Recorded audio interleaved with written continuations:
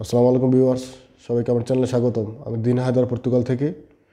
And আজকে খুব একটা গুরুত্বপূর্ণ বিষয় নিয়ে আলোচনা করতে চাই। সেইটা হচ্ছে, পর্তুগালে কোন সময়টাতে অ্যাভেলেবল জব পাওয়া যায় বা ওরা কোন সময়টাতে লোক নেওয়া স্টার্ট করে বা রিক্রুট করে। সো চলুন শুরু করা যাক। যেহেতু আপনারা জানেন, পর্তুগাল একটা টুরিস্ট ভিত্তিক দেশ।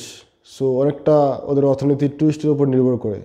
ওদের আরেকটা সেক্টর হচ্ছে এগ্রিকালচার এই দুটা, দুইটা সেক্টরে ওদের মোটামুটি অর্থনৈতিক সচল রাখে। যেহেতু পর্তুগাল টুরিস্ট ভিত্তিক দেশ সো সামার সাথে রিলেটেড তো সামারটা কখন স্টার্ট হয়? এবং এগ্রিকালচার যে সেক্টরটা এটাও সামার সাথে রিলেটেড সো সামার কখন সামার কখন স্টার্ট হয়? সামার স্টার্ট হয় নর্মালি মেতে ফুললি সামার স্টার্ট হয় বাট মার্চের শেষ শেষ দিক থেকে বা এপ্রিলের শুরু থেকে ওরা লোক নিয়ে স্টার্ট করে। যেহেতু সামারটা ওই সময় মোটামুটি স্টার্ট হয়ে যায়। বা যদিও এপ্রিলের লাস্টে মোটামুটি ফুল স্টার্ট হয় বা মে প্রথম থেকে বলা যায় সামার স্টার্ট হয়েছে অফিসিয়ালি অ্যান্ড টিল অক্টোবর পর্যন্ত ওদের কাজ থাকে বা টুরিস্টে আসা যাওয়া থাকে, সেক্ষেত্রে ওদের সবগুলাই, সব সেক্টরগুলোতে লোক দরকার হয় এবং এগ্রিকালচারের সেক্টরটা এরকম এগ্রিকালচার সেক্টরটা কিন্তু মার্চে অলরেডি মার্চের লোক নিয়ে ওরা স্টার্ট করে। মার্চ থেকে টিল অক্টোবর পর্যন্ত ওদের লোক লাগে বা এই টাইমটাতে ওরা লোক কাজে লাগায় আর কি। সো এরপরে যারা অক্টোবরের অক্টোবরের পরে যারা কি বলে, ওদের যে লোকগুলো রিক্রুট করে, সেক্ষেত্রে শুধু সীমিত লোক। বা হয়তো হয় না যে কি কিছু লোকের রেফারেন্স থাকলে হয়তো একজন লোক ওরা কি সময় নেয়। বাট নর্মালি যেটা হয়, আপনার এই সময়গুলোতে ফেব্রুয়ারি টু অক্টোবর এই বা মার্চ টু অক্টোবর এই সময়গুলোতে আপনি চাইলে অ্যাভেলেবল জব পাবেন অ্যান্ড পর্তুগালে জব অ্যাভেলেবেল আছে। যদিও একটু বেতন কম, সাতশো পঞ্চাশ টাকা এই জানুয়ারি থেকে বেসিক স্যালারি সো এতটুকু হয়েছে কথা। এবং যদি আপনি রেসিডেন্ট কার্ডদারি হন, সেই ক্ষেত্রে আপনার কোম্পানিগুলোতে অক্টোবর পর্যন্ত আপনাকে কন্ট্যাক্ট দিবে।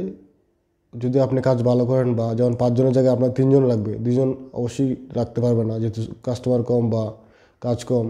তো সেক্ষেত্রে যে দুজনকে ওরা বের করে দিবে বা ক্যান্সেল করে দিবে কন্ট্যাক্ট সেই দুজনের ক্ষেত্রে ওরা সোশ্যাল যাতে সোশ্যাল বেনিফিট পাইতে পারে, এরকম কিছু পেপার দেওয়া দেয়। এটা নিয়ে যদি সোশ্যাল যাদের রেসিডেন্ট কার্ড আছে, এটা নিয়ে যদি সোশ্যাল যে অফিস অফিসে বা যেটা ট্যাক্স পে করে যে নাম্বারটা বা যে যেই সংস্থাটা, ওই সংস্থাতে গিয়া যদি ওরা এই পেপারটা দিয়ে দেয়, সেক্ষেত্রে ওই সংস্থা থেকে আপনার দুই, তিন মাসে বা চার মাস যে কাজ না থাকে, সেক্ষেত্রে ওরা আপনাকে বেনিফিট পে করবে, যাতে আপনি চলতে ফিরতে পারেন। বেনিফিট হইতে পারে চারশো, পাঁচশো ডিপেন্ড করে আপনি কতটুকু কাজ করছেন তার উপরে। এটা পাইতে হলে আপনার মিনিমাম পর্তুগালের রেসিডেন্ট কার্ড পাওয়ার আগে বা পাওয়ার পরে ছ মাস কাজ করতে হবে। এটা হচ্ছে কথা।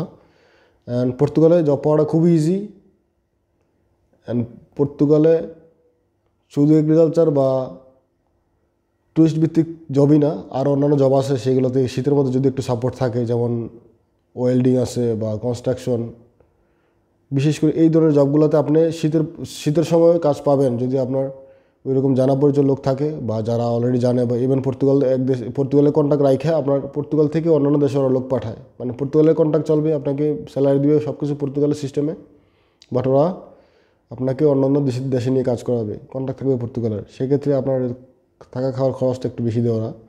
সো আলটিমেটলি পোষা যায়। হাজার, দুই হাজার চলে আসে, যে জায়গায় পর্তুগালের বেসিক স্যালারি সাতশো পাঁচ টাকা। তাও আবার জানুয়ারি থেকে। এখন যেটা আছে সেটা হচ্ছে ছয়শো পঁয়ষট্টি টাকা। মানে এটা যদি মাস শেষ। সো এই হচ্ছে কথা। আর পর্তুগালে অ্যাভেলেবল জব আছে। এটা একটা আপনার জন্য, আমাদের জন্য সুখবর।